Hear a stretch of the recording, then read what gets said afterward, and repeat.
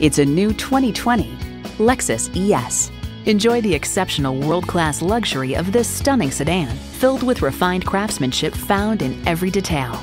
You'll look forward to every drive with features like these.